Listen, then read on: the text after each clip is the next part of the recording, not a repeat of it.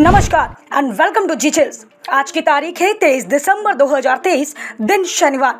और आज का विचार है सच्ची बहादुरी, कठिनाई के समय में निराशा का सामना करने में नहीं, बल्कि आशा का चयन करने में है। True bravery is not in facing despair in difficult times but in choosing hope आइए बढ़ते हैं फटाफट पाँच मिनट में पचास खबरों की ओर। भारत ने गणतंत्र दिवस परेड के लिए फ्रांस के राष्ट्रपति इमानुअल मैंक्रा को दिया न्योता।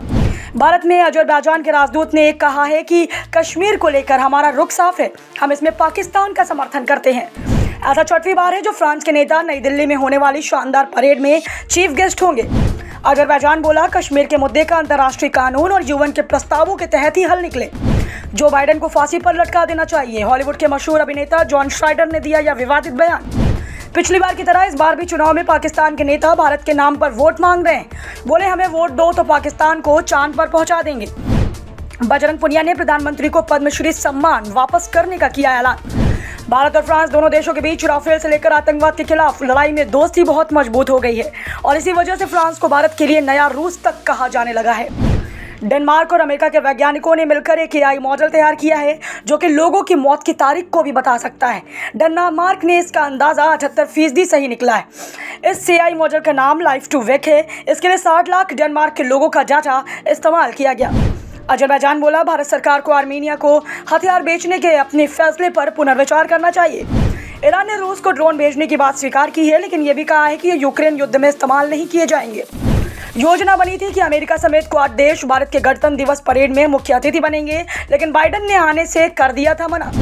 भारत ने सैतालीस साल में छोटी बार फ्रांस को निमंत्रण भेजा, बाइडन ने आने से किया था इनकार। अजरबैजान के राष्ट्रपति इलाम अलीयेव भी आर्मीनिया को हथियार देने पर भारत पर गुस्सा निकाल चुके हैं। शायद भारत के गणतंत्र दिवस में अमेरिकी राष्ट्रपति जो बाइडन रूसी हथियारों का प्रदर्शनी नहीं देखना चाहते थे। पाकिस्तानी सुरक्षा बल बलूच युवकों को गैप कर रहे हैं और कई बार उनकी हत्या कर दी जाती है। पीएम मोदी इसी साल फ्रांस के राष्ट्रीय दिवस पर मुख्य अतिथि थे। चूहों के संपर्क में आने के बाद बीमार हो रहे रूसी सैनिक। इराक 1980 से 1988 के बीच जब ईरान से जंग लड़ रहा था, तब सोवियत संघ उसे हथियार देने वाले सबसे प्रमुख देशों में से था। लेकिन इस युद्ध के अंत ने रूस और ईरान के बीच सहयोग के दरवाजे खोल दिए थे। तालिबानी प्रशासन ने कहा है कि अब मदरसे में लड़कियाँ पढ़ाई के लिए जा सकती हैं। अफ़गानिस्तान में कुल तकरीबन बीस हज़ार मदरसे हैं। कुश्ती महासंघ चुनाव मध्य प्रदेश के सीएम मोहन यादव भी थे उम्मीदवार। मिले सिर्फ़ पाँच वोट। हज़ारों की संख्या में बलूच महिलाओं ने इस्लामाबाद घेरने का किया ऐलान तो पुलिस ने उन पर लाठीचार्ज किया और भारी संख्या में गिरफ्तारी भी की गई। गणतंत्र दिवस परेड के दौरान राफेल फाइटर जेट उड़ान भर सकते हैं, जिसे भारत ने फ्रांस से खरीदा है। इसराइली सेना ने अपने सैनिकों पर ही बम गिरा दिए, तेरह की मौत इसराइली वायुसेना के बमों से हुई। और फ्रांस भारत को नौसेना के लिए 26 राफेल एम फाइटर जेट देना चाहता है, जो ताकत में बेजोड़ है। अमेरिकी इंटेलिजेंस के मुताबिक रूस यूक्रेन जंग में अब तक तीन लाख पंद्रह हज़ार रूसी सैनिकों की हो चुकी है मौत। साक्षी मलिक की कुश्ती को अलविदा कहने पर कांग्रेस ने उपराष्ट्रपति धनखड़ को क्यों घेरा? इसराइली सैनिकों ने तेरह साल के अमेरिकी बच्चे को मारी गोली, कपड़े उतार कर तलाशी ली गई। साल उन्नीस में फ्रांस के तत्कालीन प्रधानमंत्री जॉक शिराक पहली बार गणतंत्र दिवस समारोह के मुख्य अतिथि बने थे। दी वॉल स्ट्रीट जर्नल के मुताबिक, जंग में सत्तासी प्रतिशत रूसी सैनिक मारे जा चुके हैं।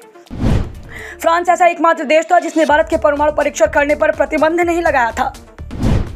ब्रिटिश अखबार द डेली मेल की रिपोर्ट के मुताबिक रूसी सैनिकों ने छह साल की बच्ची का रेप उसकी माँ के सामने किया।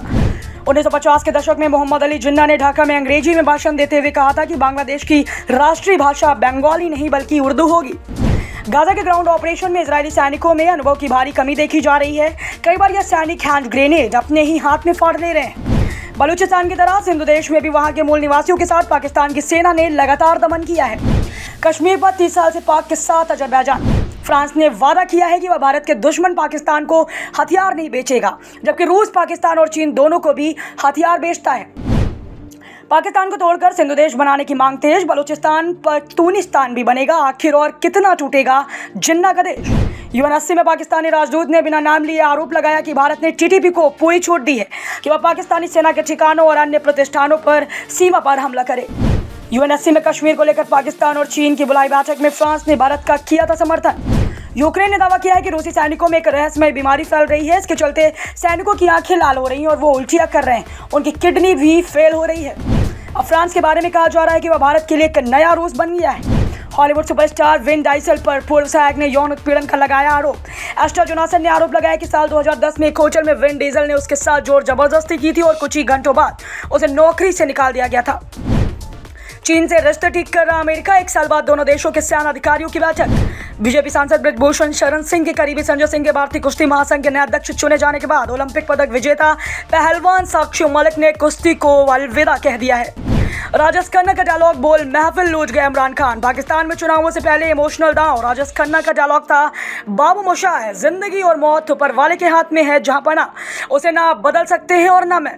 इसके तर्ज पर इमरान खान ने कहा है कि ज़िंदगी और मौत इज़्ज़त तला के हाथ में है। इसलिए किसी से न डरे और आठ फरवरी की बड़ी तादाद में वोट डालने का इरादा करे। विंडो 10 सपोर्ट बंद करने जा रही माइक्रोसॉफ्ट। 14 अक्टूबर 2025 के बाद कचरा हो जाएँगे 240 मिलियन कंप्यूटर्स हम इन सभी खबरों पर नज़र बनाए हुए हैं। अपने इसी चैनल डिटेल्स पर देंगे आपको अगली अपडेट। धन्यवाद।